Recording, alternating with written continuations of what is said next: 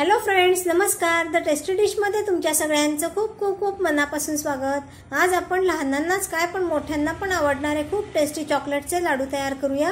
यासाठी इथे मी एक वाटी घेतलेली आहे. या वाटीच्याच साह्याने आता आपण सगळं प्रमाण घेऊ.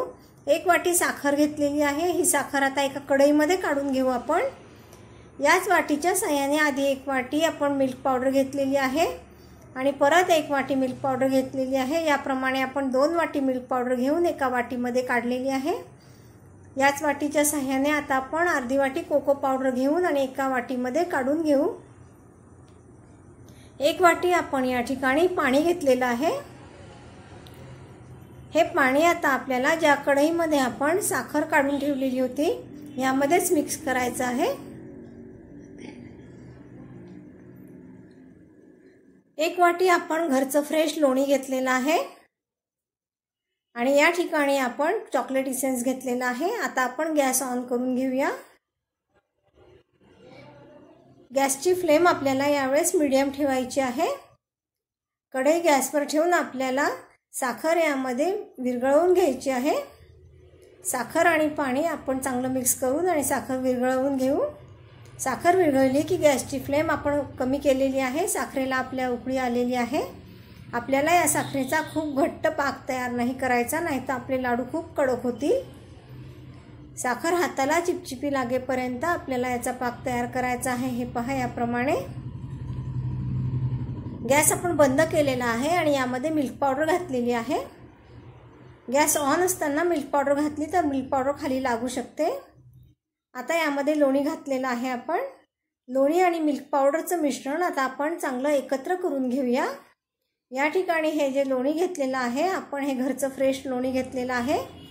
लोणी आपल्याला दोन तीन पाण्याने आधी स्वच्छ धुवून घ्यायचं आहे म्हणजे यामध्ये ताकाचा वास येणार नाही. गॅस आता आपण ऑन करून घेऊया आणि यावर आता आपली कढई ठेवून आपण चमच्याच्या सहाय्याने सतत हलवत राहून हे मिश्रण चांगलं मिक्स करून घेऊया. या मिल्क पावडरचं मिश्रण असल्यामुळे आपल्याला सतत हलवत राहायचं आहे नाही तर मिल्क पावडर खाली लागू शकते. हे मिश्रण आता चांगलं लूज झालेलं आहे पहा इथे आणि याला तूप पण सुटलेलं आहे. अजून एक दोन मिनटं आपण हे फक्त हलवत राहू आणि मग गॅसची फ्लेम बंद करू. गॅसची फ्लेम बंद केल्यानंतर यामध्ये आता आपण कोको पावडर घातलेली आहे. कोको पावडर आणि मिल्क पावडरचं मिश्रण आपण चमच्याच्या सहाय्याने चांगलं मिक्स करून घेतलेलं आहे.